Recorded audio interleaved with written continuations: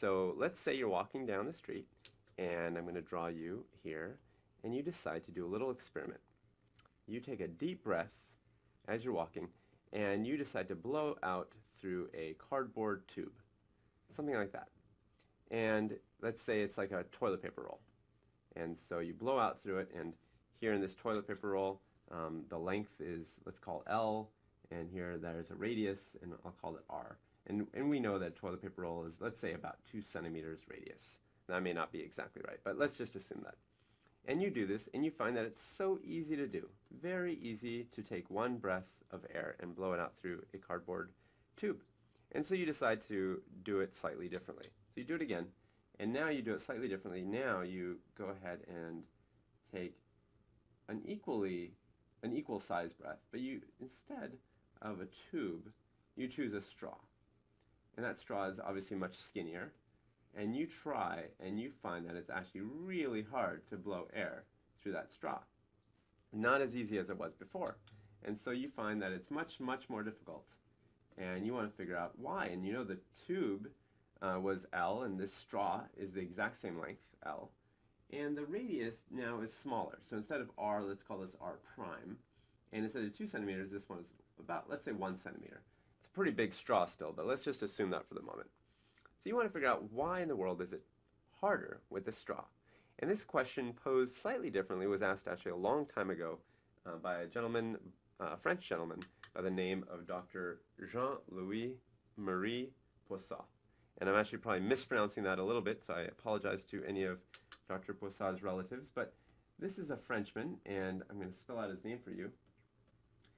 He actually lived in the 1800s, uh, was born actually in the 1700s, but lived in the 1800s, and this is a U. And in the 1840s, he put together a set of equations that helps us answer that question that I just asked, which is about uh, why was it more difficult in one situation to the next. So he said, if you have a tube and you're trying to get a fluid through that tube, so in this case, not air, but a fluid, but you'll see uh, that a lot of the uh, math is very similar.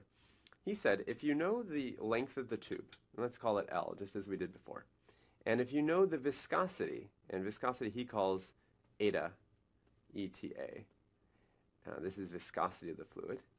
If you know these things, and lastly, if you know the radius, if you know the radius, then you can actually calculate the resistance. And he said the resistance, resistance, and I'll just call that R from now on, big R, not to confuse you, confuse you with little r, which is radius, equals 8 times the length times the viscosity divided by the number pi times the radius to the fourth power. Now that might look confusing, but look at this.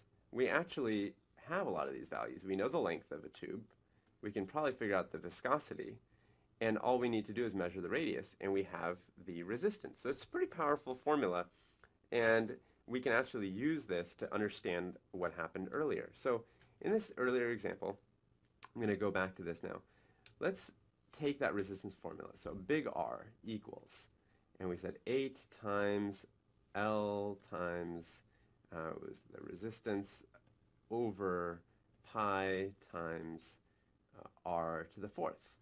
And I'm just going to go ahead and replace this with resistance is proportional, therefore, to 1 over r to the fourth. And you can see why that's the case, because all of this other stuff, all of this stuff, can be figured out in this example and you can see that there's a relationship between these two things. Let me just draw them. R and little r. And the relationship is stated here, right? So you have, as the radius gets very, very, very big, the resistance is going to get very, very small. And in fact, it's going to happen very quickly because you're raising the radius to the fourth power.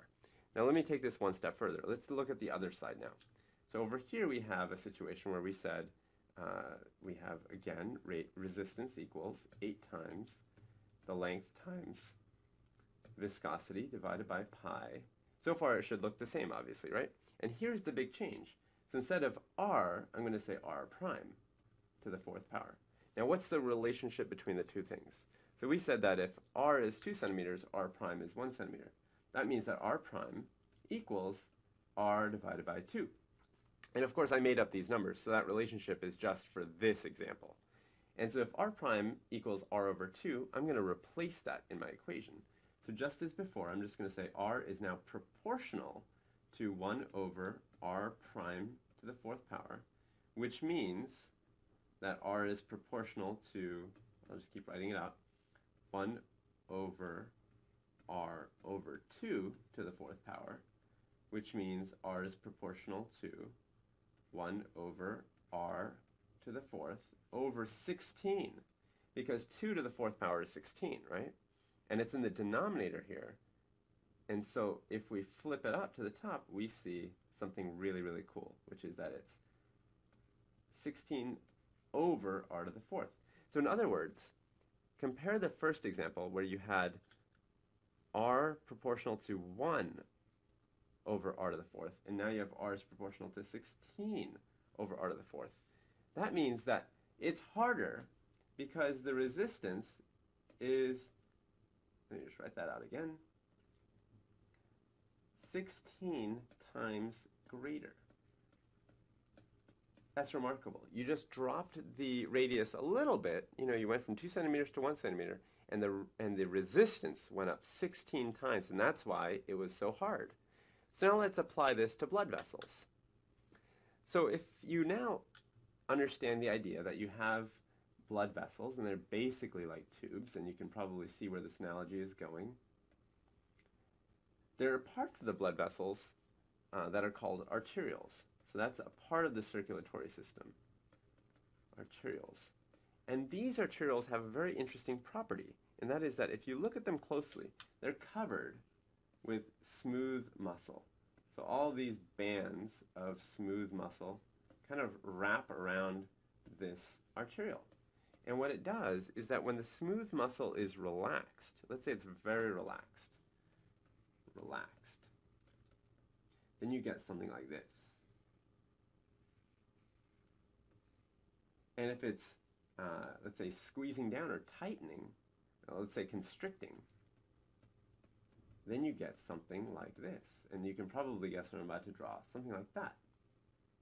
And I haven't drawn the smooth muscle here, but you can still guess uh, it's basically like this. These are just wide open, relaxed, you know, completely at ease.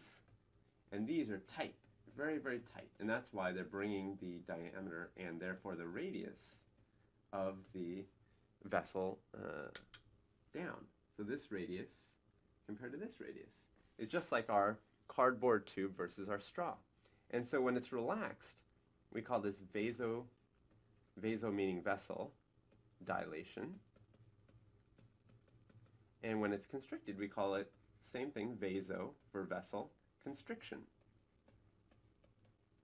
And the reason that we want to make this distinction is that we know, based on this example now, that when you have vasodilation, what that means for the blood is that you're going to have very low resistance. So blood can flow through with very low resistance. And when you have vasoconstriction, now you can see why. That means you're going to have high resistance. And so we owe a lot of this understanding and thinking to Dr. Poiseuille from the 1840s.